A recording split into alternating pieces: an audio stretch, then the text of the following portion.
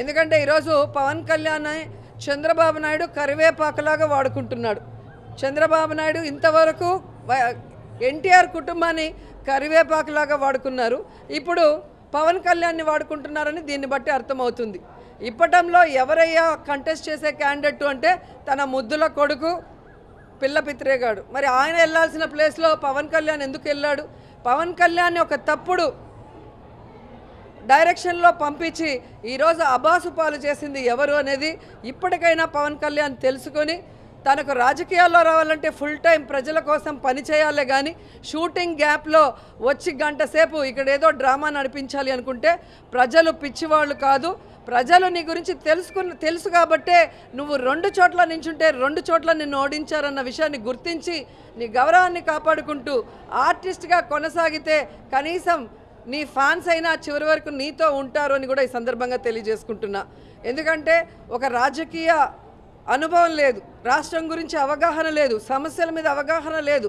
చంద్రబాబు నాయుడు పచ్చ ఛానళ్ళు ఏ డైరెక్షన్ ఇస్తే ఆ డైరెక్షన్లో వెళ్ళటం అబాసు ఫాలో అవ్వటం ఈరోజు అతనికి ఏమీ తెలీదు అనే ఒక విషయం. అంటే కేఏ పాల్ గారికి సమానంగా పీకేని ఈరోజు సోషల్ మీడియాలో అందరూ చూపించే పరిస్థితికి ఒక పవర్ స్టార్ రావటం దురదృష్టకరం.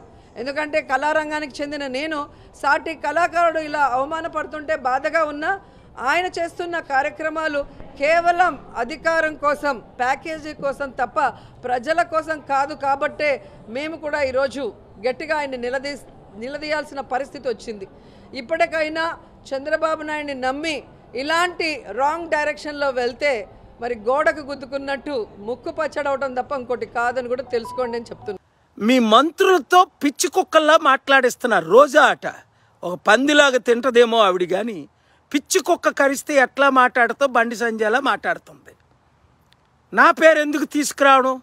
లాస్ట్ వీక్ ఆ కొడాలి నానిగాడట ఆడెవడో నాకు తెలియదు నా పేరు ఎందుకు తీసుకురావడం?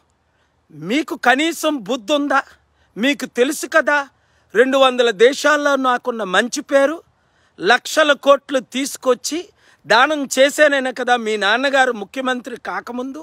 రాజశేఖర రెడ్డి గారు ముఖ్యమంత్రి అయిన తర్వాత కూడా ఇరవై ముప్పై సంవత్సరాలుగా నా పాదాల దగ్గర కూర్చున్నారు. మీరు మీ తండ్రి మీ తాత రాజారెడ్డి గారు మీ అంకుల్ వివేకానంద రెడ్డి గారు మీ ఎమ్మెల్యేలతోని మీ మంత్రులతో నన్నెందుకు టచ్ చేస్తారు? మీరా? చేత కాలేదు మీకు పని చేయడం రాదు. ఆ రోజా అన్నావిడకి మీరు మంత్రి ఇచ్చారంటే ఇంకో అంతకంటే మంచోళ్ళు మీకు దొరకలేదా? లేదా పిచ్చి కుక్కలాగా వాగుతాడు? ఆ కొడాలి నానికి ఎందుకు మీరు జాబ్స్ ఇచ్చారు? అంతకంటే మంచి ఎమ్మెల్యేలు మీకు చేత కాదా? మీకు ఏ పని చేతనన్నప్పుడు నేను చేసి చూపిస్తాను అన్నాను. గుర్తించండి మీకు ఇప్పుడు మన తెలుగు రాష్ట్రం విడిపోయి ఎనిమిదిన్నర సంవత్సరాలు. క్యాపిటల్ జరి కట్టారా? అభివృద్ధి జరిగిందా? లక్షల కోట్లు అప్పు అయిపోయిందా లేదా? తెలంగాణని కేసీఆర్ అమ్మేశారు. ఆంధ్రప్రదేశ్ని వీళ్ళు ఫెయిల్ అయిపోయారు. కనుక ఇప్పటికైనా బుద్ధున్న ఎవరైనా తెలివితేటలున్న ఎవరైనా మూర్ఖులు కాని ఎవరైనా చదువుకున్న వారు ఎవరైనా అప్పుల నుండి విడుదల చెంది అభివృద్ధి చెయ్యాలంటే ఇప్పుడున్న పార్టీలు విడిచిపెట్టి ప్రజాశాంతి పార్టీలో చేరండి. లేదా ఇప్పుడు ఆంధ్రప్రదేశ్ తెలంగాణ ఏ విధంగా అయిపోయింది ఇండియా ఏ విధంగా అయిందో మీకు తెలుసు. ఇలాంటి వారికి మరల మీరు అవకాశం ఇస్తే ఇప్పుడు శ్రీలంక జింబాబ్వే శ్రీక అన్ని విధాలుగా మన రాష్ట్రాలు మన దేశం నాశనం అవ్వడం ఖాయం. కనుక మార్పు కావాలి. ఆ మార్పు మనమే తేవాలి. వీళ్ళేం చేస్తున్నారు? ఒకరినొకరు తిట్టుకుంటూ అభివృద్ధి చేస్తున్న నన్ను నా పేరు ఎందుకు తీసుకురావడం? ఐదు లక్షల కోట్లు డొనేట్ చేశాను. ఏడు యుద్ధాలు ఆపాను. రెండు వందల కోట్ల పైగా ఫాలోవర్స్ ఉన్నారు.